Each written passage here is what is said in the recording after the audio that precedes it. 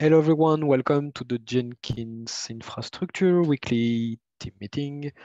So this week we are the 25th of July 2023. Last week we didn't have a weekly meeting because it was holiday for a lot of us. So today will be a two weeks milestone conclusion. Next weekly meeting should be next week, the 1st of August. As far as I can tell, everyone should be there. Um, so who do we have today? We have myself, Damien Duportal, Hervé Lemeur, Mark Waite, Stefan Merle, and Bruno Verachten. Looks like Kevin isn't there. I hope he's doing, his back is feeling better. Um, let's get started with announcement. So today's weekly did not happen, but it was expected. Um, yes, because tomorrow, as we'll uh, explain uh, uh, later, we'll have a security advisory on the Jenkins core, and so the main branch is locked. That has been announced publicly yesterday, I think, on the mailing list. So that's why we try to not publish a core release before a security release to avoid anything going wrong. Um, so weekly, no release uh, no release today as planned. See below. Okay. Uh, do you have other announcement, folks? I don't have any, except tomorrow's security release, but that's part of the calendar. Okay. So next weekly should happen next week, 1st of August. I don't remember the, the number that should be 4, 1, 18 or 19. I don't remember. Uh, so to, tomorrow's is 416. Next weekly will be 417. Uh, 416 tomorrow. Ah, yeah, then 417 uh, next is 1st of August. Right. Cool. Thanks, Mark. Next, LTS. So uh, 2.401.3 tomorrow. 1.3 tomorrow. 2.414.1 August 20 or sorry, I, I missed for 14 dot dot one on August 23rd. So yeah, perfect. Uh, for third. Correct, 23. Okay, I need to to train my my ears to English after the holidays again. Sorry. Yeah. Thanks. So, uh, Mike, I had heard... 23. 23. Isn't that true? 23. 23. Oh, okay. So it's difficult. Yeah, uh, but I heard uh, people were thinking also of the 415 to become the LTS, but finally uh, your decision is made and it will be 414. Okay. Well, so the the discussions were were really good about that topic because 416 will include a security fix. It must be backported. And there was uh, there was an issue that James Nord detected that will re result in a backport as well. So so there will be some wow. backports to 414.1. That's good. We're we're really proud that people are finding things that that need to be backported. That's healthy. Oh, I, I missed this discussion. Thanks for folks. Okay, so that need we will have to check a bit more the changelog to see if we are not impacted. Yeah, so what will happen is the the fixes will be applied to weeklies, and then as we get to the August 9th release candidate date, those fixes will be backported from weekly to the 414.1 or 414 stable branch. Okay, so August will be uh, a busy week, a busy month then. um, so the announcement we tomorrow we will have a high severity security release as announced. Yeah, 26th of July, tomorrow, confirmed. Tomorrow. So that means since it's uh, uh, tomorrow, we should try as much as possible to not release anything on release CI Jenkins IO. And we will, um, so I need someone to help or prepare. That can be me, but that can be someone else. But we need someone to take care of uh, opening the, um, the usual uh, uh, status Jenkins IO uh, message because CI Jenkins IO will be down during the, the restart. And we also need, uh, so unless someone volunteer, I will take care of uh, doing this, the health check tomorrow morning in Europe and report back to the security team saying, okay, all system are green, we can proceed. Which mean, okay, so, so we need status. I'm happy to open the status pull request. I'm not willing to wake up in the early hours of the morning. To, I'll, I'm happy to open that tonight. Uh, okay. I'm not willing to wake up in the early hours of the morning to do the things that you need to do tomorrow morning. Okay. Let's check the platform. Um, Stefan, is it okay for you if we pair on doing the health checks tomorrow morning? Uh, with pleasure to, to make sure that I know the process, yes. Report to GenSec team before. Damien. Ah, um, okay. Uh, that's all we have. Then we will have to follow uh, the updates. Update all the images. There will be an issue, and yeah, and we'll deploy. So the goal is to have. Uh, I propose the challenge tomorrow, end of day in Europe. We will have upgraded all of our controller. And when I say all, it's all because both Release lines are covered by the security. Looks good for you? No question? Uh, next major event, I don't know when, I haven't tracked this. If you have any next major event where you know some team member will be present, uh, I don't mind you sharing it. I don't know what are the plans. Mark, do you have events in mind? Uh, let's see.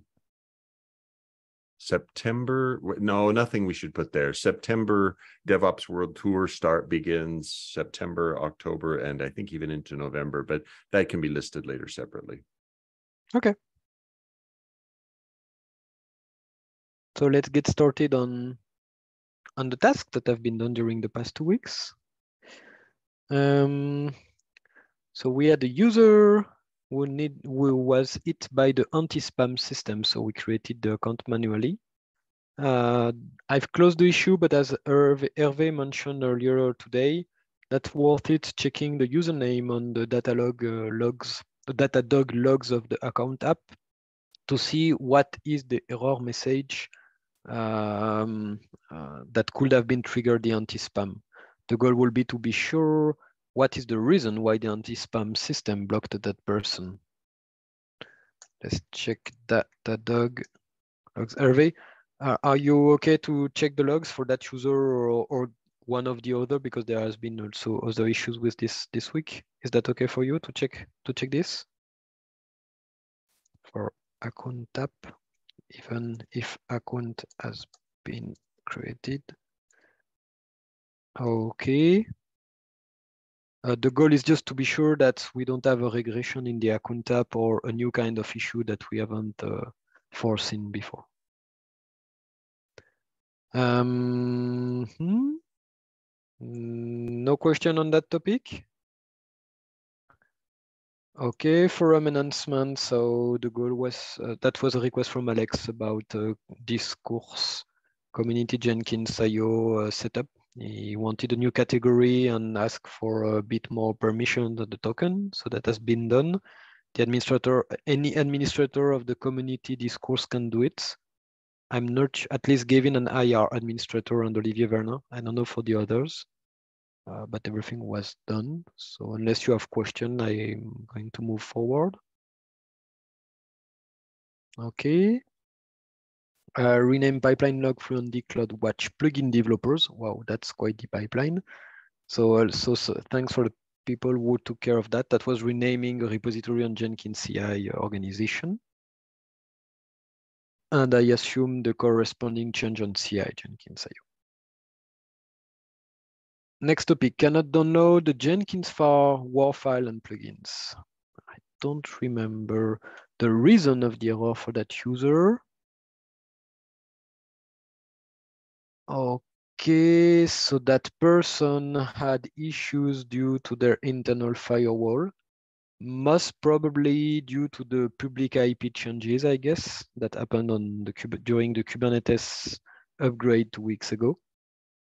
Or maybe not, but that will be one of the use case where since we changed the public IP, their firewall are are keeping the the old IP that has been trashed as okay, and the new IP isn't on the system yet. That's why we need to take care of communicating and avoiding changing the, these IPs. Say the guy who broke the production.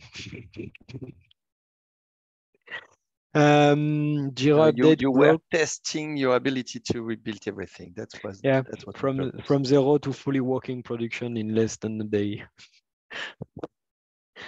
Uh, finally, the last closed item. Oh, thanks, Mark and team, for taking care of that. That was Jira setup. Is that correct? Yeah. Okay, so I understand that, Mark, uh, you helped on that setting to keep the sanity of our users. Is that uh, is my understanding correct? Uh, it was it was self-preservation because I hated the default as much as everybody else did. So that that was the craziest default. Uh, what? Yeah.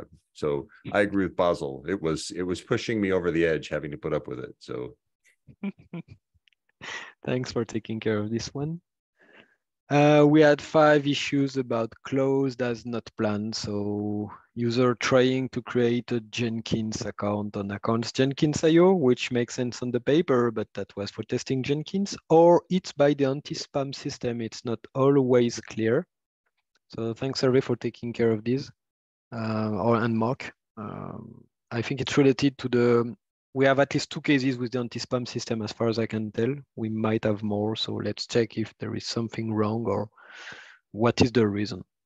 My guess is uh, public IP, but I'm, I don't remember exactly, so let's see. Any question on these topics? Okay, so work in progress. Most of the work that has been done during the past two, two weeks uh, were on these tasks. Some are almost closable. Uh, let's take them one by one. So a report about the upgrade to Kubernetes 1.25 because we didn't meet last week. So during two during the beginning of that milestone, we plan to upgrade Kubernetes 1.25 with one cloud provider per day. Uh, everything went properly until the last one, which is public Okay, So the upgrade in itself went very well. But as part of the upgrade, the change of the node pool combined to the particular network setup we had uh, made the cluster in a, in a state where it wasn't able to reach some IPs, causing some mayhem. And when we try to fix it a combination of bad luck and uh, not enough uh, reading and taking time led to cluster full destruction. So we had to recreate the cluster from scratch at a moment during the day. So first positive thing is that all the work that Hervé and Olivier did during the past years on the public cluster with automation and as code showed that we're able to recreate it from scratch, including restoring the LDAP backup I have to admit I was quite freaked out by the deletion of the LDAP uh, persistent volume. Uh, so the cluster was recreated and as part of that recreation, we realized that the public IP were changed automatically. So that uh, that is a subsequent topic that uh, thanks for from team, we were able to see we could have a long-term solution. On short term, we have locked in the Azure API the current public IP. So they cannot be deleted even if we do the same operation, uh, deleting the cluster and recreating it. The under the hood, it's because we have some kind of namespaces in Azure API, name resource groups. And when you create an AKS cluster, there uh, you need two resource groups. One that you define where the control plane is created and some top level resources. And the public IP should have been on that one that you manage. And the second one is created and managed by the cluster itself, where the node pools and the virtual machine and the associated resources are created within. When you delete the cluster, the cluster cascade deletes the child resource group. And we were under the impression that the public IP must have been on the same resource group as node pool. And as Tim showed, we have ways of doing of having the public IP on another resource group with the correct annotation on Kubernetes setup, which we didn't know back in time. So when we deleted the cluster, the public IP were deleted. So they have been created on the same resource group because we had to recreate the cluster as close as possible as the former one. But now we have an upcoming issue tracked on a subsequent topic that could allow us to not only keep the lock on the public IP, but also move them to a proper resource group to avoid blocking deletion of the cluster in the future. So thanks Hervé and thanks team, for pointing these elements. Thanks for the help Mark and Hervé on that topic. Consequence is that we had to change the public IP. A blog post has been published about this to communicate to end users. Uh, and this issue is closable, except that I need to open the issue to plan the 1.26 with the date time and linking this one. That's the one last mile. All the other improvement that we've seen have their own issue to be tracked because it's outside the topic of the update, but these are things that we should work on to improve the next updates or the next production outage. Is there any question, things I could have forgotten? Not clear on that topic. In the in the postmortem, you had put back Javadoc to ARM64 node pool. Yes. Was that related to the upgrade to 125? Uh, no, it's because during the cluster recreation, the Javadoc service wasn't triggering a scale up of the cluster. Maybe it's because we didn't add enough time or I didn't diagnosed and I started by changing the node pool label to force it back to Intel. Okay. We recreated everything. It was Friday and the next Monday or Tuesday, I fixed the problem by moving it back to ARM64 after scaling manually like you did the first time. Okay. My guess it's it's because I I didn't wait. I didn't took the the required time waiting a bit more would have helped. But in any case, we had to rush, so that's why. Okay, good, good. No problem. Thank you. Um, so yeah, good, good point. Good question. But it should be in the same state as you left it when you go, went to vacations. Um, I don't have anything else on Kubernetes 1.25. Anything else for you folks? Okay, next one. Migrate updates Jenkins IO to another cloud. So for this one, during the past two weeks, we removed all Oracle Cloud resources that Stefan and I created the months ago for that topic because we decided all together uh, during the beginning of July that we won't use Oracle Cloud for that service. Hervé, can you give up? Can you share the, the status since you are going to take that issue as we discussed? Can you give us a summary? Yes, so we intend to create a Docker image uh, with uh, an uh, Apache server in it, um, create a service on public k8s cluster, uh, with uh, volume to mount uh, every htaccess files generated by the update center script. This script is triggered by the build on trusted.ci.jenkins.io to update uh, the version uh, in the htaccess redirection. So the plan is to retrieve this uh, these uh, htaccess, uh, put them on the Apache 2, uh, Apache 2 server configuration running on the public k8s cluster, and um, redirect with HTTP to the content stored in uh, R2 Cloudflare R2 buckets. Uh, a good benefit of Cloudflare R2 is that they have um, uh, we, they can um, deploy a bucket uh, in China. So this will help for user. And uh, we can also uh, use this uh, with MirrorBits to have a better location for your user later. And yes, the main uh, reason we are using R2 from Cloudflare is that there, there are no egress fees. And since it's one of our main uh, bandwidth consumer service, it's a big, uh, big win for us. Yeah, I forgot to. Yeah. No, you mentioned the, the two the two images. The HA, the high availability, I forgot, but yeah. no problem. Do and we... the read-only htaccess will be also another benefits of having this service like that. Do we have an agreement already from Cloudflare, to allow us as an open source project, or is that in progress? Uh, for now, their free tier is more than enough for conducting our tests.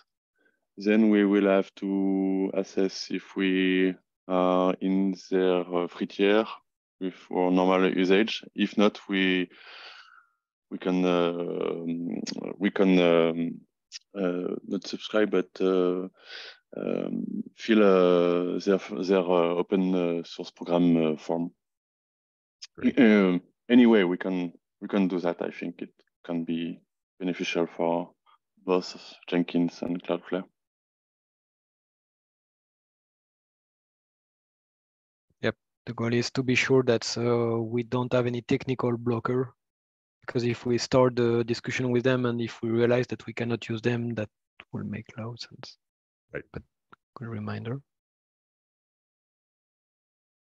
Um, longer term, we so that's a discussion that we had the china projection right now we will we will start with only one bucket in the us and we will start moving the service because the main goal as a reminder is to get that service away from aws to avoid paying 5 to 7k per month in egress fees.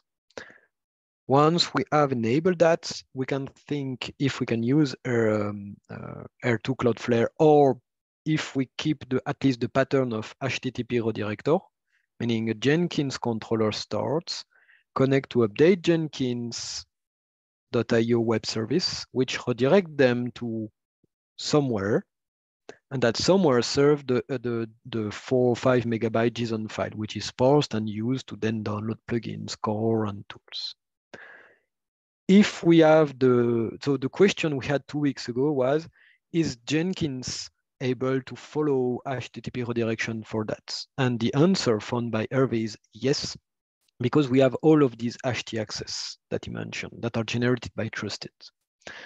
So that allows us to keep control of the domain name, update Jenkins.io and update Jenkins.org, the certificate, and the redirection rules. We keep that control and then we trigger HTTP redirection so that the real egress bandwidth is served by a service where we don't pay, but we keep the control of, this, of the initial service, which is not a reverse proxy. Otherwise, we would still keep serving the content and paying egress fees. That's the subtle difference. That's not an easy one. Considering that pattern, we can think about improving the life of our user all across the world. We have China because that's where it's the most visible today, but that could be improvement for everyone. We could use the same, we could use a mirror redirector like we have for get Jenkins. Except in that case, we host, manage, and fill the content of the mirrors between codes. Meaning we could think about having a bucket on the US East and a bucket on China on the R2 Cloudflare China network. And then we could instantiate a new mirror bit service for update Jenkins IO that say, oh, I see you are located in China. So the redirect will be on the update center JSON served inside the China network. But the problems we would have with the existing service is that we don't manage the mirrors. For instance, Aachen University, we have OSU so we cannot control when we update for real life the update JSON file, which is a problem for security uh, advisories. In that case, that will be another mirror bits instance that will allow us to project the proper update JSON file on the location we seek, but we control filling these elements. So trusted CI today generate the content and then run an rsync to the virtual machine. In that scenario, in the long-term future, Trusted CI would generate the contents and run AWS S3 CP or a local CP on a file system and copy to all the location where it's needed. And then we can update on the mirror. On the mirror redirector. We can even add a CDN on top of that uh, to to manage the one that are not that mm. cannot have any any. That one is introduce yeah. introduce some lags in we yeah depend uh, depend of the CDN. Yeah, the egress bandwidth, the cost that will generate, yeah, and the ability of the CDN of to pre-cache. Yeah, but yeah, that could also but alleviate. But keep, if the we can keep everything and use it as a last uh, solution, not to not to mm. propagate mm. everything and to be close of geolocalization. Yes, but you depend on how the CDN uh, resolve the geolocation, and currently Fastly doesn't uh, have anything in China. So that's yeah, why yeah, if I, we I, control the mirrors, we can have a, a mix of all of these, exactly. while that's the CDN doesn't.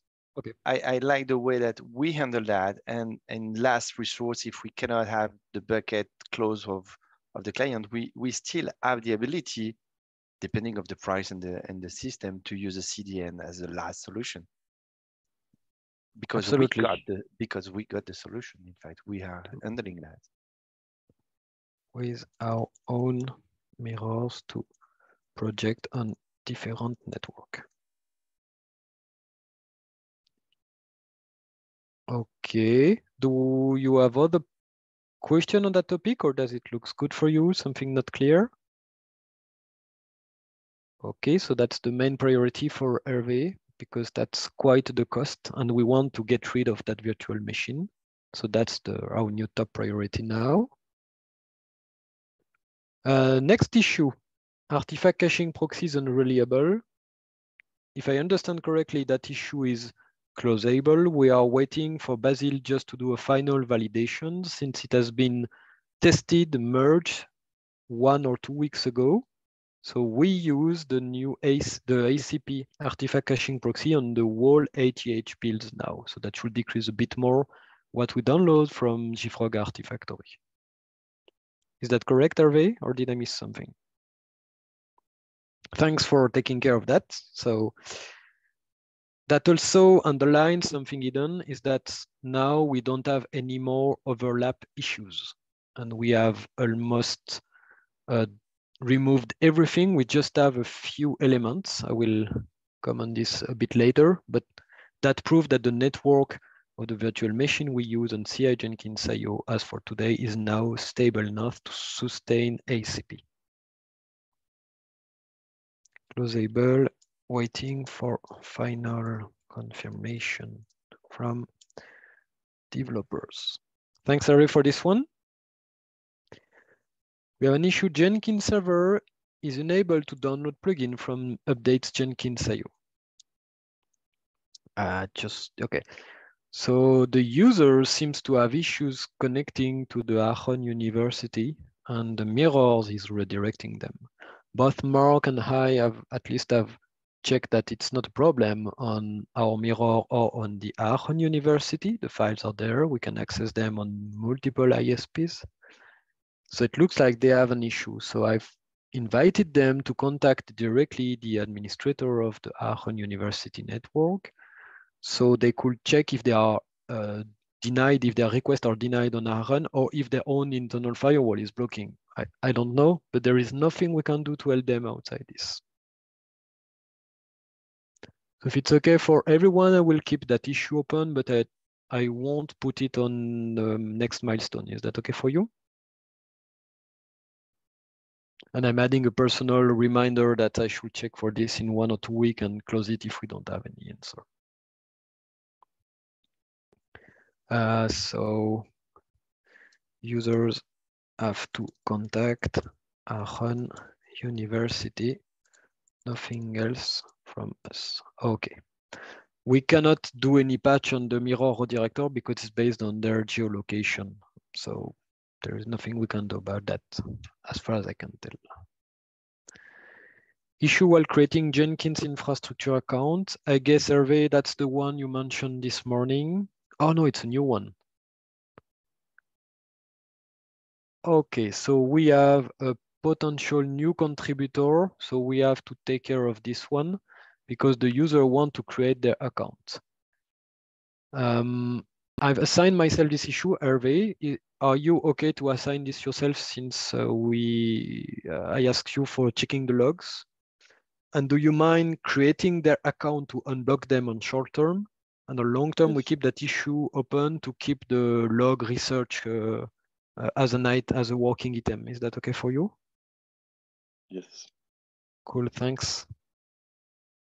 Uh, I don't yes. think we have a problem. I see uh, 80 warning for the last uh, 15 days, which seems normal for me, since there are not only account uh, issue but uh, other stuff in this warning. I yeah. Okay. Long term, let's check the the logs to see if anything is weird with account up. Okay. Uh, issue about ATH builds become unresponsive. So there have been multiple factors for this one. Uh, there's been a regression in the ATH itself, but that has been fixed. And still uh, issues have been cooked by, um, by James. So thanks for the pointer from Hervé. We conclude as a team that we could temporarily disable the spot mode for the agents.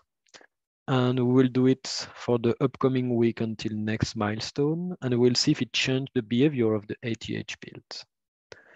If it doesn't change the behavior, that means we have to search of the root cause because some elements feel like the same problem we have with the BOM builds as if some threads were stuck while trying to garbage collect to manage the agent connection. Also, we have changed from SSH to inbound agent for these agents. That could be a cause. Maybe the inbound serialization protocol is weaker than the SSH protocol for reconnection or supporting the network issues.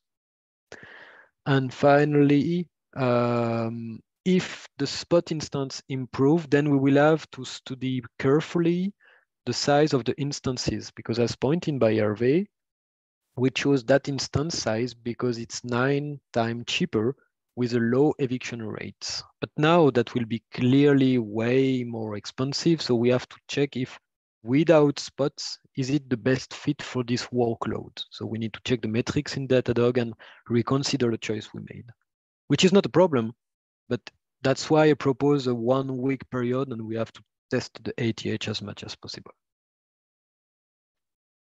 Is that clear? Does it make sense for you? Or do you have question or objection on that proposal? Okay. So Hervé, you've merged the, the thing. Can I just let you uh, comment on the issue and then we will have to wait? Is that okay for you? Yes disabled for one week. Let's check the results. Uh, there is a request mark for disallow. It's a Jira request. Uh, oh, okay, no. Uh, I can take care of this one. I might need help, Mark. Uh, just in any case, I might ask you for help tomorrow if it's okay for you. Yeah, I'm I'm not a high skills Jira administrator, but I'm happy to attempt it together. Mm -hmm.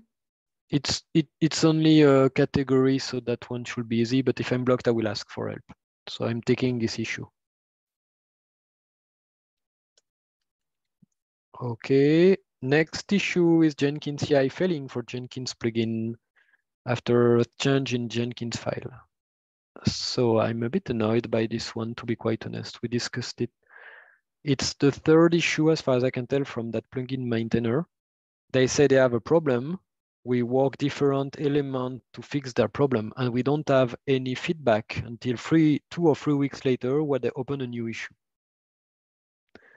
Uh, so there might be, as, as pointed by Tim, there might be bug in the GitHub scanning system from CI Jenkins IO. Is it misconfiguration, edge case, a bug on the plugin itself? I'm not really sure. But since these users haven't carefully followed the repository permission updater uh, elements, they, uh, they have managed their, their whole system. And because that plugin was a fork migrated to our organization, there might be a combination of parameters. That will help us a lot if the user was responsive, which they are not. So I propose that we keep that issue open or we can close it. If we keep it open, we have to tell the user, hey, please, we need your help because it's a weird case and we, you need to be responsive or we cannot help you because it's a bit infra, it's a bit uh, Jenkins CI organization administrator, CI Jenkins IO administrator. I, I mean, this, it's it's cross team. So yeah, we need we need them to help. So a question I had an experience today that might align with this. Okay, so mm -hmm. so could you scroll up to the top uh, to see the description? Was it that that they had permissions on ci.jenkins.io that they didn't have on GitHub, or the other direction? It was that they had permissions. It was that ci ci.jenkins.io did not realize they were a an trusted a, a trusted person. Yeah. Okay, so that's different than what I had. I had a case where where GitHub thought I was not not trusted or Dependabot thought I was not trusted, but then I was allowed to merge the pull request myself. So my my situation oh. is different. Thanks. Nothing to do with this. Okay. Uh, yeah. So that one.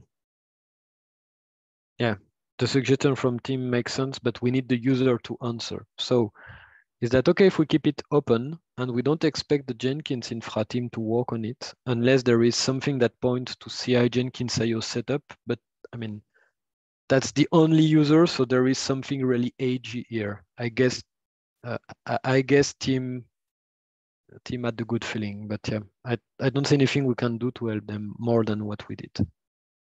Do you agree or do you see something else that we could do to help here? Okay, I will keep that issue open and I will put it on the next milestone and we'll see. I propose the time the TTL will be next week. If we don't have any feedback, we close it saying, okay, we need a feedback and we need you to be responsive when yeah, we try you, to you help. Ping, you ping them before. You don't wait just a week. You just ping them and then yeah. wait a week. Yeah, we add a message now telling them, please, we need your feedbacks. And then uh, next week we will close it if no answer back. Um, next issue, Assess Artifactory bandwidth reduction option. Mark, can you give us a quick summary on what changed during the past two weeks on that topic? Yeah, so had a, a, discussion with James Nord where he identified a a very rapidly implementable technique to reduce bandwidth use without requiring a release of all POM files and without requiring adoption of new POM file releases for everyone. And so I've scheduled a session for tomorrow to discuss it in more depth. It's described in this in this issue ticket there. The idea is we just password protect our cache of Maven Central. That's the only thing we password protect on this effort, but that is by 10x larger data volume than any other repository that we cache. And so, so that one change, but because that change is because that repository is automatically included as a fallback by Maven, our stopping caching it will just cause the builds to revert to asking Maven Central for the, the, the artifacts, which is where everyone else asks anyway. Oh, we don't have to say go to the, the, the original main one. It's automatic. Right. Awesome. And and now that only works for exactly one repository. And it happens to be a major high visibility repository. It doesn't work for JGit. It doesn't work for many others. But for this one, it just so happens that the data volume from Maven Central in our in our measurements is 10x greater than the next largest mirrored repository. So, so it's it's a very interesting choice. If this works, we should implement it. Uh, the question then from the security team is, or the question we'll breach with the security team tomorrow is, is it okay that we're relying on Maven Central for artifacts and that we are requiring ourselves to pass through potentially other repositories on the search process? and and immediately it will just be repo, uh, repo.jenkinsci.org falling back to central. But if JFrog requires more than that, then we have to put intermediate steps, and there's some danger there on supply chain. So feels feels comfortable, feels reasonable. We'll discuss it further tomorrow. Okay, sorry, I have maybe a dumb question, but you were questioning the security of relying on the Maven Central because something could happen between us and Maven Central. Am I right? No, not not so much that because we're we're talking to Maven Central through an SSL secured HTTPS connection. So it's it's not that someone could get between us and them in the data transfer. It's rather that there is a search order which is used to search first this repository, then this one, then this one. And Maven Central is always the last one searched. Mm-hmm. So, so the, the benefit for us today is our cache satisfies all requests. But the problem is that means we have a full cache of Maven Central sitting inside our repositories that other people are using without without justification. Yep. yep so uh, sorry, I have another dumb question which may be linked. Uh, so you said that it would be password protected now from now on. Okay, so who will use the password? I mean, uh, will our Jenkins plugins build use that password that it doesn't change anything, or will we also yes. use for the yes. Jenkins build plugins the Maven yes. Central, which means that our builds could take some more time? Or I, build I, will Go ahead. What I understood is our build will still use our own cache, but this cache won't be available for anyone else. Okay. Well, the password, so... the password, be careful. That password will be hidden inside the ACP, the caching proxy that I have built, which means CI Jenkins IO will only use the password to reach the ACP. So mm -hmm. CI Jenkins IO user will never be able to see the password and get it in any way. It will be hidden somewhere else which is not reachable. They will only be able to get the password to connect to ACP. Today, that means they can reuse it at home and use ACP from outside, but we should quickly shift to ACP restricted only to CI Jenkins IO agents. Okay, much clearer. Thank you be used with the as fallback. Um, one thing, Mark, uh, we uh, be careful about the tests suggested by James. We need to do that test as a first layer, mm -hmm. but we still need to plan a brownout when we will enable authentication of the um, only on the upstream repo Maven Central inside the, the tree, because that, uh, the mirrors uh, will have a different HTTP answer than when it will ask for a password. And right. the fallback behavior could change if we have if it receives a different answer from the remote. The whole search fallback system. Uh, I'm sure James is absolutely true and that should be enough. We need to run that test, but we still have to anticipate word fallback behaviors. A wholehearted agreement there. We we must not implement this without a brownout first. And we may need multiple brownouts to be confident that it's behaving the way we expect. Absolutely. It's no question in my mind that once we get agreement on the concept, brownout is the next step. And and then we we and we we define, I think, carefully what the things we want to test during the brownout. Because do we need to make artifact caching proxy changes in order to do the brownout or can we run it unmodified those kind of those kind of questions okay thanks in our infra for reliability but password is hidden inside ACP, not inside CI Jenkins IO. Okay, do you have other question, things to, to write here? Cool. So that's good news. I don't say we shouldn't have a highly available LDAP, but at least we won't be forced into doing it in last minute with the, if that if this is working. Mm -hmm. Uh, ATH build failing due to denied outbound request during test. So that one is a consequence of CI Jenkins IO virtual machine being migrated to a new virtual machine two, three weeks ago. And we also moved the agents that were changed. They change region, subnet, and connection, uh, connection method from SSH to inbound. So as we saw, we can use ACP and everything works perfectly, but on certain test of the ATH, um, a protocol named uh, a network protocol named HKP used for using for retrieving public GPG key from public key servers. Uh, they are used on some of the Docker files of the ATH. And the builds were failing because I admit that I've been a bit paranoid and the firewall rules on the new network for this agent is now forbidding every, everything by default except some few rules. So I expect the agent on CI Jenkins IO to only use outbound HTTP or HTTPS. Eventually, we could think about SSH for GitHub to github.com public IPs or eventually some GitLabs.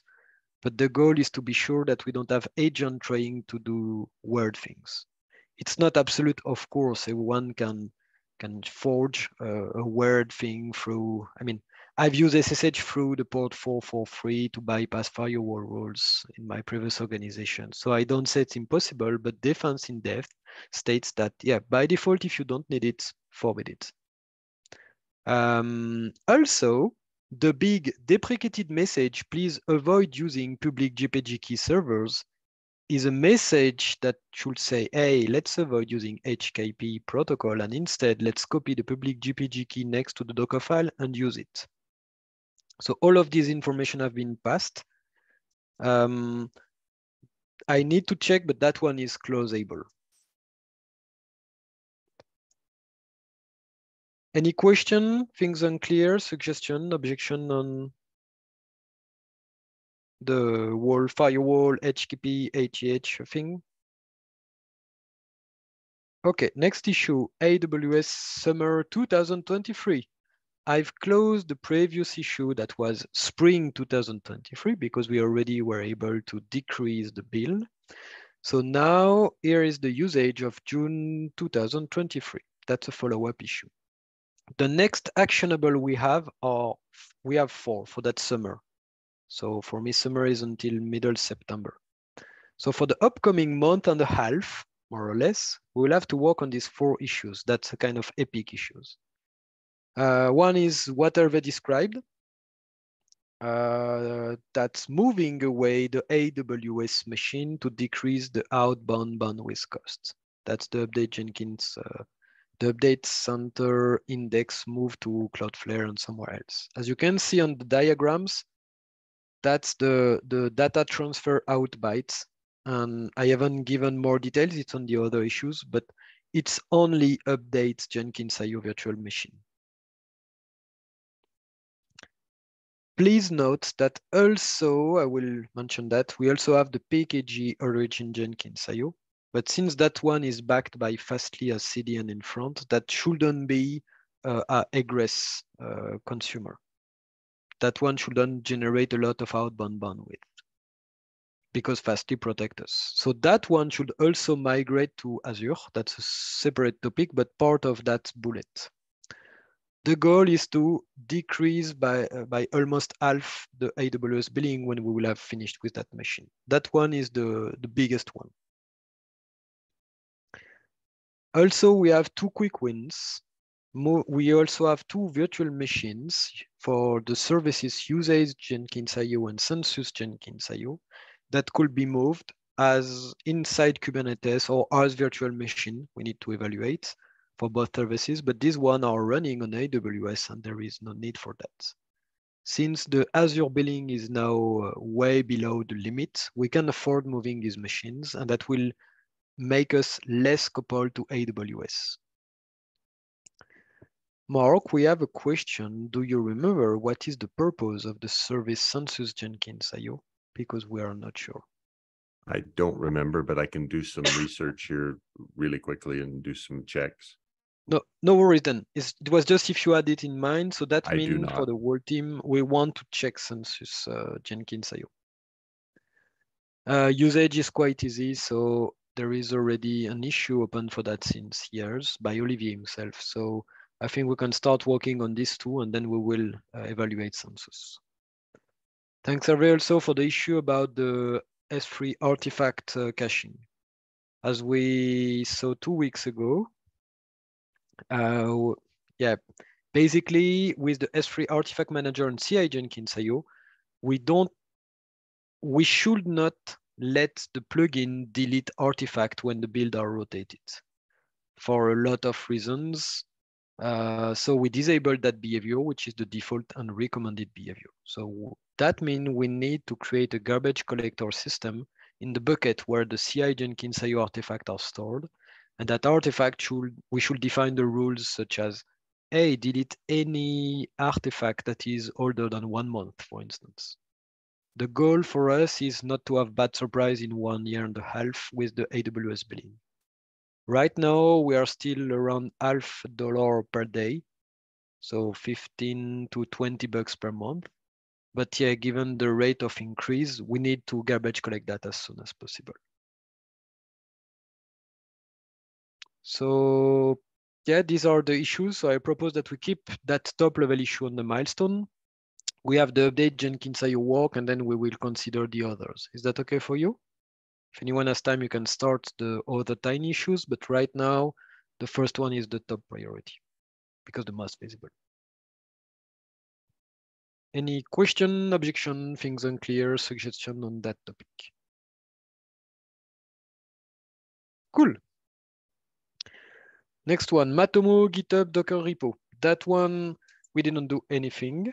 Um, two parallel tasks. We are going to work on this, this milestone. We have one task which will be creating a MySQL managed instance in Azure, like we have a PostgreSQL uh, instance. Stéphane, are you okay to work with this on with me? we pair. Yes, uh, yes. Why sure. with me? Because uh, you need to change eventually machine reconfigure. You might have a laptop issue. So I propose that we tomorrow the new one, but the time I have to set it up exactly. That's why to avoid putting pressure, we pair. I work and you dictate. Is that okay for you? You just don't want to say that you love to to work with me, but okay, Absolutely. Unless, uh, Hervé, you want to bear with Stefano with me or take that topic, of course. Uh, but yeah, the goal is this one. And the second parallel task is um, take all the elements that Gavin created, see if the Docker image is built or if it's missing something like the proper pipeline function on infra CI, the proper permission on the Docker Hub, check all the elements until we have the valid image published uh, on each tag creation on the repository. Ubuntu 22.04 upgrade campaign.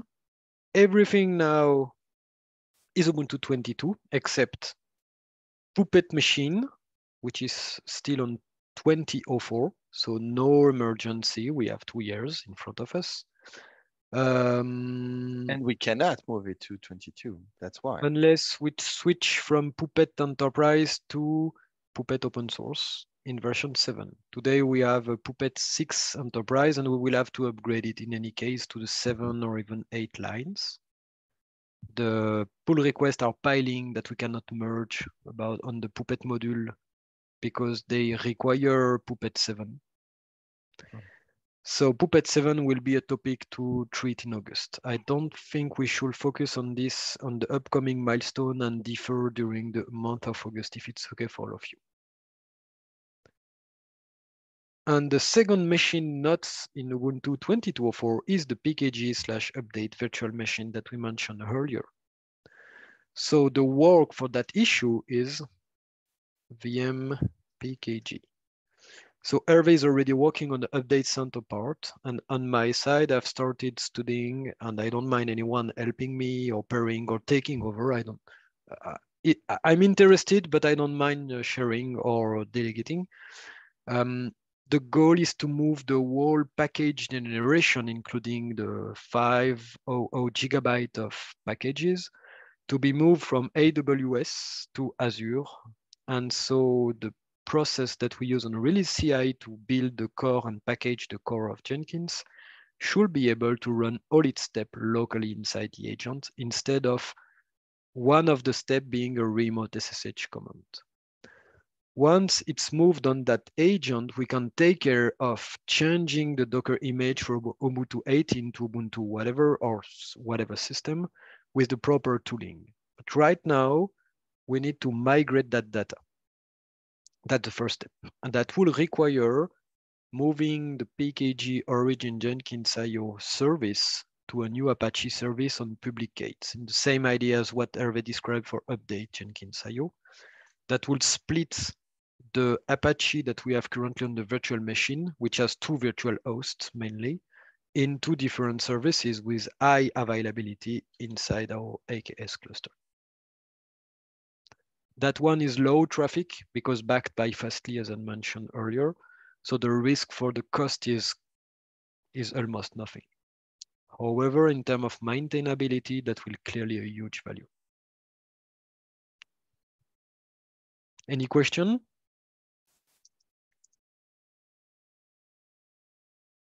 No? Okay, so update Jenkins IO service by Hervé and pkg.jenkins.io by at Portal. One last work in progress is Linux Foundation status page. I have no idea what this topic is about and I need help, Mark or Hervé. So it's that um, Oh, Daniel Beck asked a question that needs to go to the Linux Foundation, and I've got to raise the question to them. Uh, as far as I know, as far as I can tell, the issue is absolutely resolved. What Daniel's question was is, does the Linux Foundation for future cases need to be sure that their caching system does not cache too aggressively? Okay, So, so cache the cache duration, cache lifespan, cache time to live may need to be reduced. And I had seen something similar minutes after the, or in the hour after the Linux Foundation had brought issues at Jenkins.io back online. But this re- report from this user was a day later. I, neither he nor Daniel, neither Daniel nor I could duplicate it, but it's worth the question to LF. I'll, Okay. I have the action to do that. Okay, cool. So that means we can keep you assigned to the issue, move it to the next milestone and wait from the feedback. Cool, Yes. thanks for the clarification. Art might takes care of it. Thanks, Mark. Mhm. So in the list of new items, whether to be triaged or to be considered for the upcoming milestone.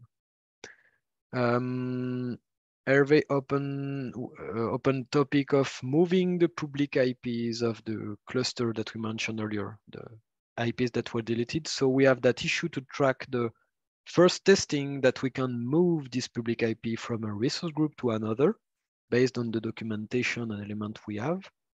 So the goal will be to create some Dumi's IPs, create a Dumi load balancer in the cluster and see if we can move them without breaking the load balancer.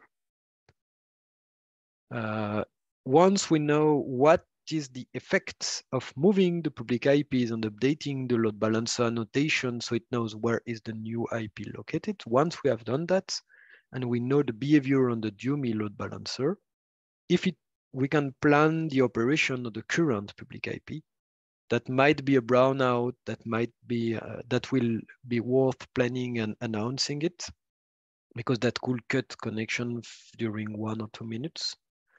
But if it, the, the goal is to add this to the current logs, so we are really, really sure that we don't have any block. Hervé, do you think you will be able to work on it in the upcoming milestone? Yes. Okay. Is that okay for you to take the issue, or do you want to someone else to work on it? Uh, either I you have already I, I signed myself on it, I think. Okay, cool. So I will add it to the new milestone. Is that okay? Okay, next one. Mirror Jenkins CI org is missing some necessary metadata file which prevent it from being added as an apt yum repo. I forgot to uh, pass the link, but that will update. Um, I wanted to mention this one because we told the user we will delay. So right now, this issue is blocked because we need to mi first migrate PKG origin somewhere else. And the part about the, the Yum repo is complicated because we need to be able to provide uh, uh, CDN for the packages inside China and other networks. And there is an issue related to the, uh, the amount of data that is stored on the mirrors we have archives Jenkins right now as a that will that acts as a default fallback. But it seems that the apt yum repo pattern that we use only have indexes on the top level domain, not on the mirror uh, domain. So there might be some elements such as mirroring, allowing the mirrors of the packages uh, of the package indexes. But that problem is the same as the update center.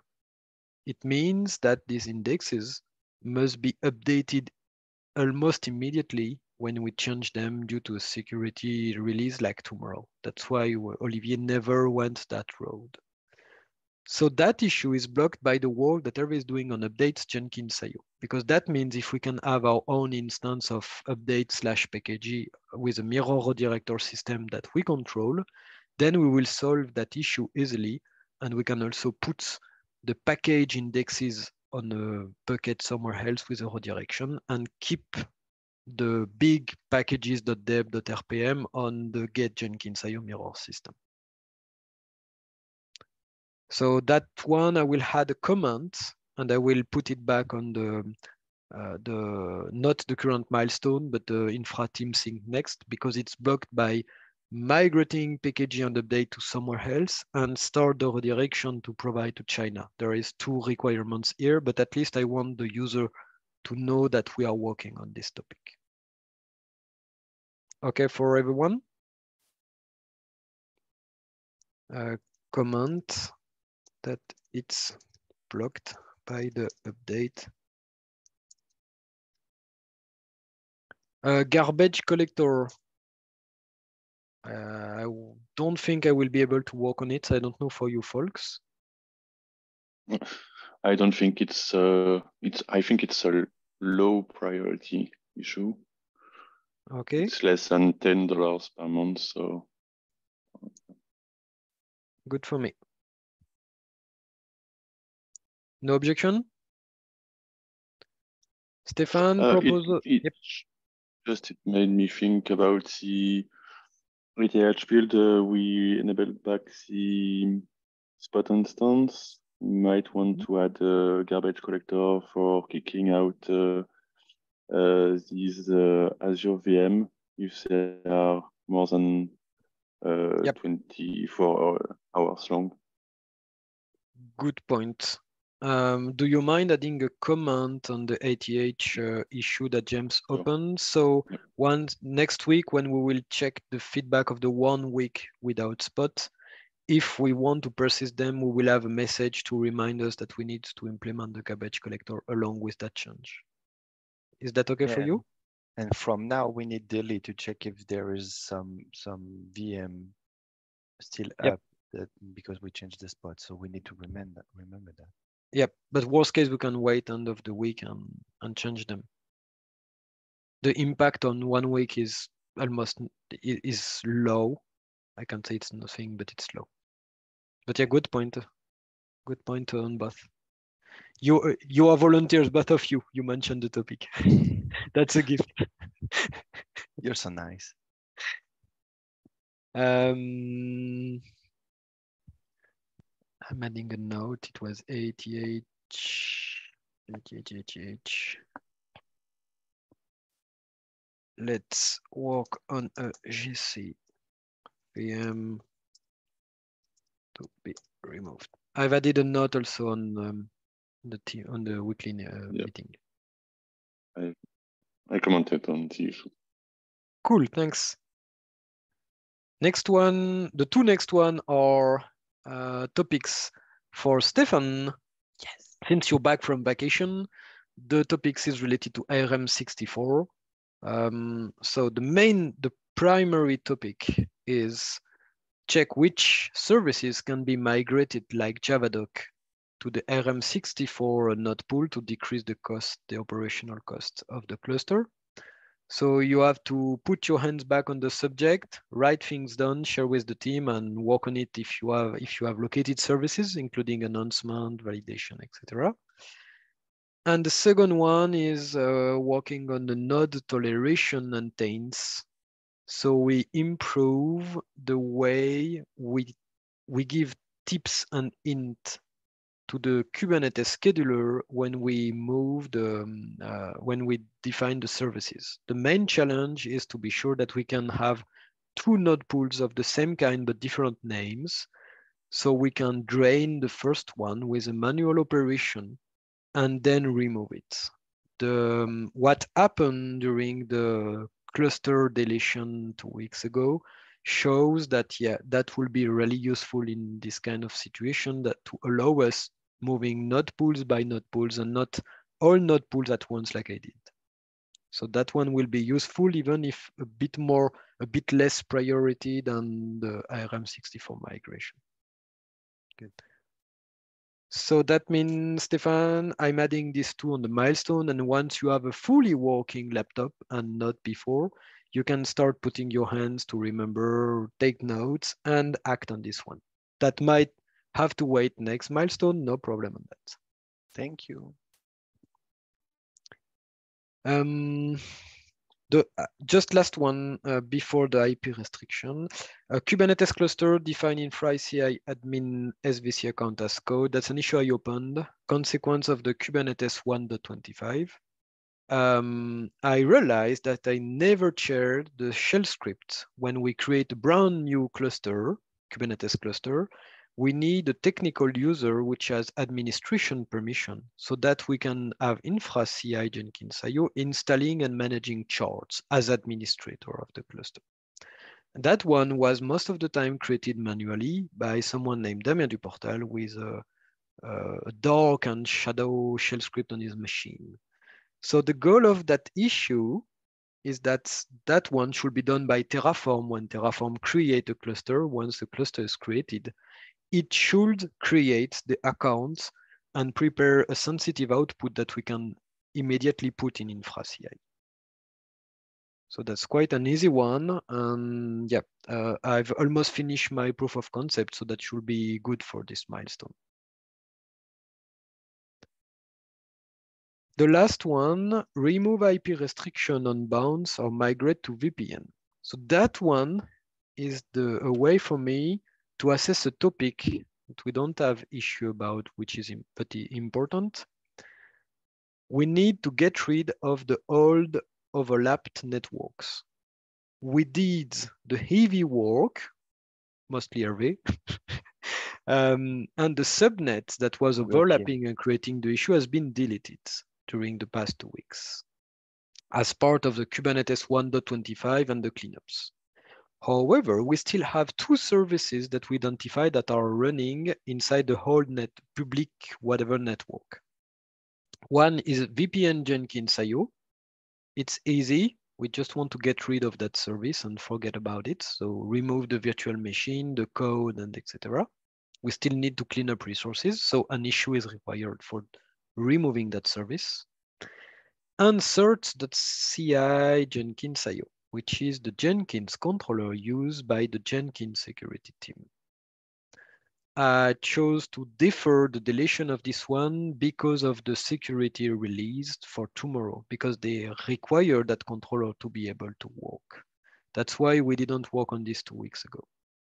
So now once they will have done the security release, if we don't have any security release even privately shared with them in the upcoming two weeks, then we can migrate certs.ci to the new network and clean up all the resources of the old network. We, that, we agree that what you're talking about have nothing to say with that issue. It has. okay. And uh, let me explain. So let me just write down that I need to create three issues delete VPN Jenkins IO resources, um, move cert.ci to the new private network, and then delete all remnants of the old overlap networks. The reason is because that issue is about trusted CI which is in its own virtual network, brand new somewhere, which is not the new, not the public private that we have today, not another one. And the fact that we want to restrict the access to the SSH and to that trusted CI, we have the same pattern for cert CI. The restriction is not the same. We don't have the same person on both services. We have an overlap. Daniel Beck or Wadeck need to reach both but not every member of the GenSec team need to reach trusted and not everyone from the infra team, or at least our usual contributor, uh, should reach CertCI. So they need either a separated subnet inside private network or their own virtual net. In any case, today CertCI users reach CertCI using the VPN. So that's the subsequent topic. We need the same method in any case to reach trusted and cert CI. And that same method should have two access control lists that say, oh, you are that user, you can access both or one or the other. VPN so looks like VPN. the same one, but that's the same method. Yeah. Um, what is hidden is that we need to select a method that will work for both. So that means CertCI should have the same paradigm at the network level than trusted, which means their own virtual network and eventually not a subnet, and we peer the network to the private network.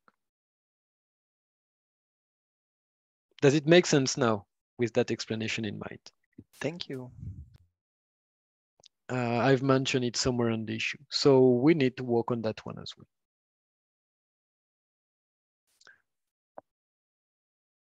Proposal is that I will start working with you folks on this one before working on the three upcoming issues. Because first we need to validate the peering ports. So if it doesn't work for trusted, we won't repeat the same mistake for CertCI. Any question, objection, things to clarify on that topic? Nope, okay do we have new other issues or new other topic? I'm looking at the new issues. Okay, I need to remove triage on this too, but outside this, no new issues. Do you have other topics? None from me. Any question, thing you want to say? Cool, so I'm stopping the screen share, I'm stopping the recording for people watching us. See you next week. Bye bye.